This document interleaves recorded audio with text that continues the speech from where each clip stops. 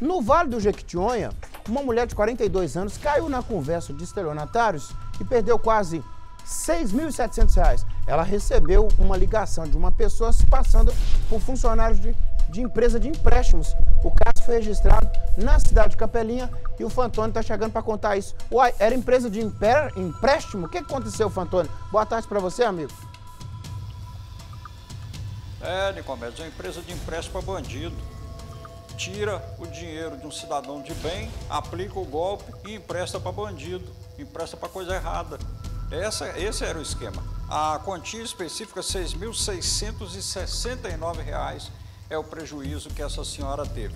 O cidadão ligou para ela dizendo se tratar de uma empresa que fazia empréstimos e acabou por iludir a vítima a lhe fornecer esse, esse, esse valor. E ao perceber a situação, ela procurou a polícia e agora está sendo feitos os levantamentos para poder identificar quem é essa pessoa, onde é que ela está e a possibilidade de reaver esse dinheiro. É possível? Sim, não é fantasia, não é ilusão pensar nessa possibilidade. É difícil? Também, mas isso depende do, do, do trabalho das autoridades. Ontem nós mostramos aqui no Balanço Geral o trabalho eficiente das novas delegacias de crimes cibernéticos ou crimes virtuais ou crimes através da rede mundial de computadores. É o que você falava, Nicomedes. Às vezes as pessoas acham que pelo fato de ter um aparelho celular que é, é, é, é avanço, um avanço muito importante para a vida das pessoas, para a comunicação, mas tem as pessoas também que utilizam para o mal. Como toda grande invenção da humanidade, sempre existe o lado bom e o lado ruim.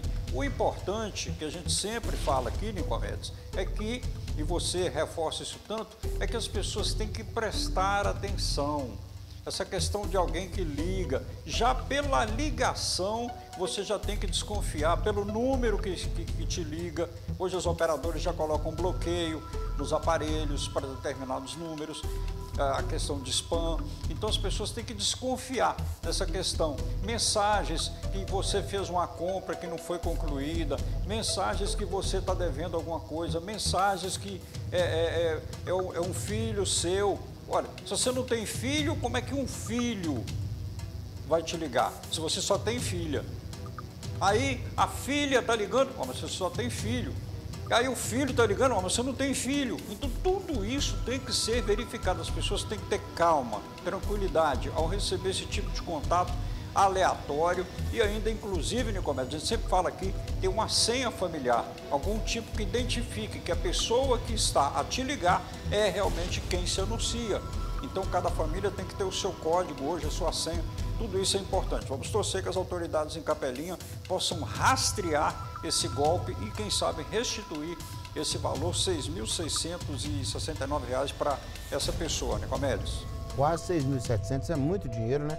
Nós já temos uma senha, Fantônio. Na hora que eu for te pedir dinheiro, eu mesmo vou te ligar. Ninguém vai usar meu nome, nem negócio de aplicativo, não. É empresa de empréstimo. Ah, não, ó, o décimo pedido de 5 mil.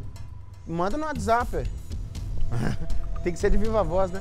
Ah, empresa de empréstimo. Você vai fazer um empréstimo, pede se depositar antes. Ah, eu tô precisando de dinheiro, vou depositar. Ah,